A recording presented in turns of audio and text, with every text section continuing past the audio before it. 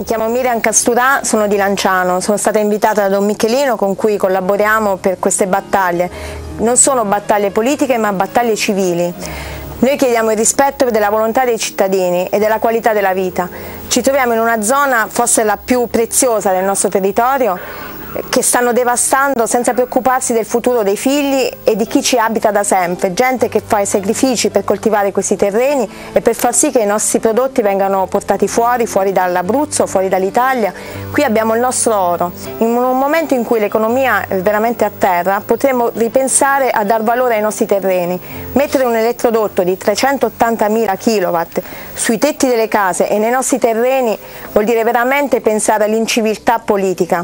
Noi chiediamo soltanto di apprezzare ciò che abbiamo e dar valore alla gente che ci vive e a ciò che chiede e chiede soltanto di essere ascoltato. Non hanno detto no al passaggio dell'elettrodotto ma di non passare vicino alle case e vicino ai terreni coltivati.